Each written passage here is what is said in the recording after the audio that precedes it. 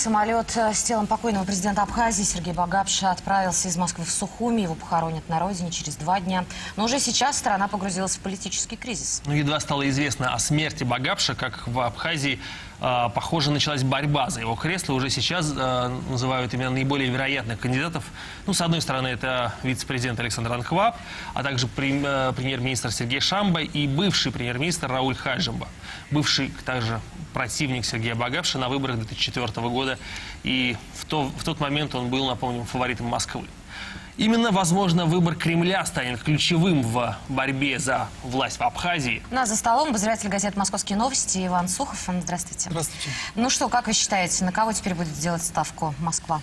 А Мне кажется, что после признания Абхазии в августе 2008 года Москве, в общем, все равно, кто будет ее президентом, потому что Так свои, свои интересы она, по большому счету, там реализовала. Там есть российские войска, есть российские пограничники, и дальнейшая, э, дальнейшая судьба Абхазии в геополитическом смысле мало зависит от имени ее следующего президента.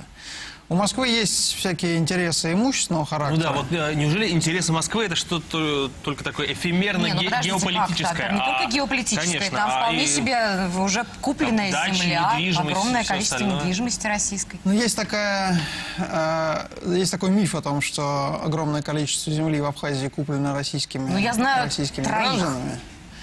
Это, как правило, довольно сложная процедура, потому что покупать землю в Абхазии россияне не могут. Это приходится делать через подставных лиц, э, у которых есть абхазский паспорт. И, конечно, Россия хотела бы исправить эту ситуацию и прийти на этот курорт с какими-то большими деньгами, бизнес-проектами. И кто бы ни стал абхазским президентом, ему придется сталкиваться с необходимостью каким-то образом эту проблему решать.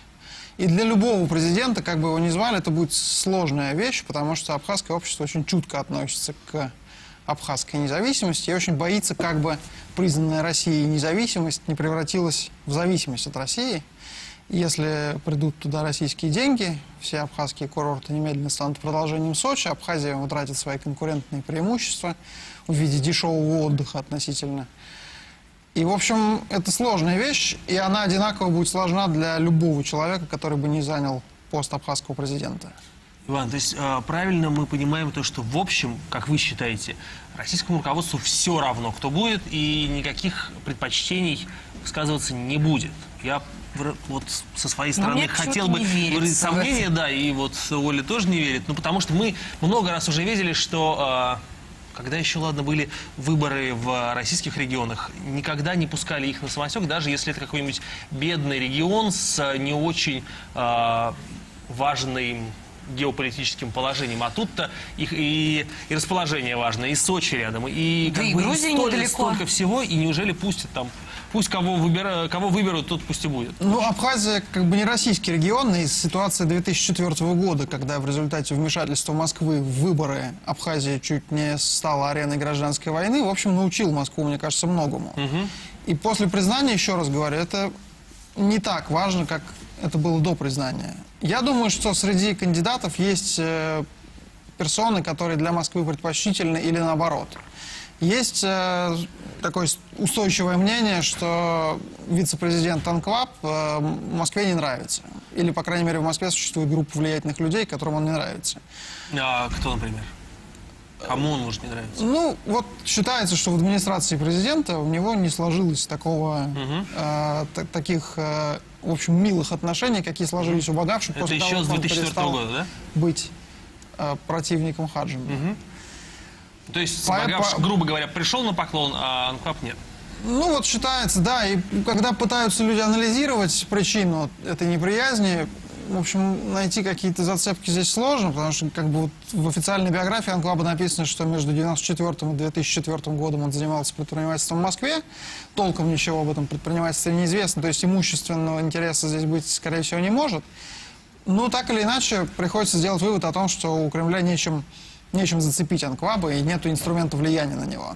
На Багавша каким-то образом такое влияние удалось э, найти возможность оказывать. И без этого не случилось бы компромиссов зимой 2005 года, когда он в итоге вышел на президентские выборы с- в паре со своим противником Хаджимбой. А на Анкваба не нашли. Поэтому, скорее всего, мне кажется, что если Москва и будет как-то выражать свое мнение по поводу будущего абхазской политики, то Наверное, вот э, в этом смысле Анкваб для нее менее предпочтительная фигура.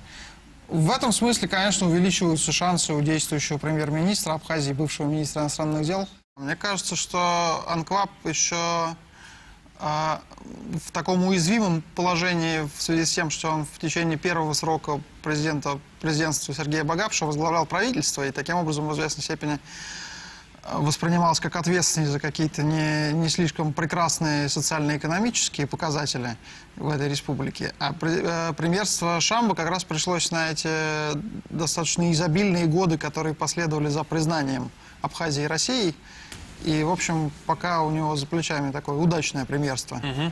А что касается Хаджимбы, э, он уже человек из прошлого и шансов вернуться не имеет? Мне кажется, что вот дв- дв- двое президентских выборов подряд, которые он проиграл, они достаточно хорошо свидетельствуют о том, да, сейчас достаточно надежно свидетельствуют о том, что он уже такой, такая карта отыгранная. Но сейчас э, и оппозиция, и власть находятся в очень неожиданной ситуации. Всем было понятно, что во время второго срока Багапш, наверное, будет слабее, чем во время первого. Всем было очевидно, что он не очень здоров. Но э, одно дело э, не очень здоровый, но живой президент, а другое дело ситуация, когда этот президент неожиданно умер. И, и оппозиция, и власть оказались в ситуации такого неожиданного старта. Им нужно очень быстро выдвинуть кандидатов. И что будет делать в этом случае оп- оппозиция, пока трудно сказать. Хаджимба проиграл президентские выборы 2009 года, еще раз подтвердив, что его претензии, в общем, не обоснованы, но из ряда оппозиционных кандидатов он был, конечно, самым сильным. И многие эксперты тогда говорили, что вот его, его ближайший конкурент по оппозиционной борьбе, с которым они пытались составить коалицию, но не составили, Беслан Бульба, он должен еще подрасти до серьезных претензий на президентство. И если бы у Багапши был полный срок, наверное, он успел это сделать. Но выход на выборы через э, два года после предыдущих, э, в общем, создает такую картину неопределенности, потому что явно выраженного сильного кандидата от оппозиции сейчас нету.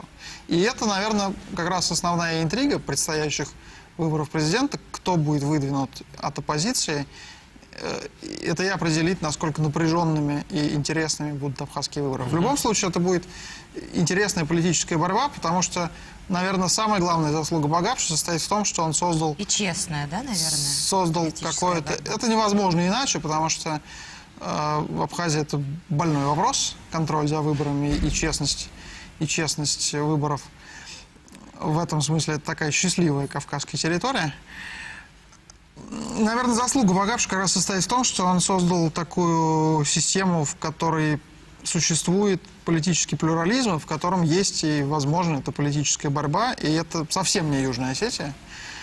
Мне кажется, что это даже важнее для Абхазии, чем, э, чем факт ее признания Россией. Мне кажется, это основная заслуга Сергея Васильевича. Действительно, вот это очень интересно и важно отметить, то, что, по сути, э, существует республика, которая, в общем, входит в, э, удивлялись в орбиту влияния России, в ближайшую орбиту, э, и при этом является одной из немногих, их можно по пальцам пересчитать, на постсоветском пространстве демократических государств с э, реальными альтернативными выборами, где они возможны, и где они, по крайней мере, точно, мы знаем, в 2004 году проходили. И Но зато интересно, как будет следить за тем, как развиваются события в этой стране.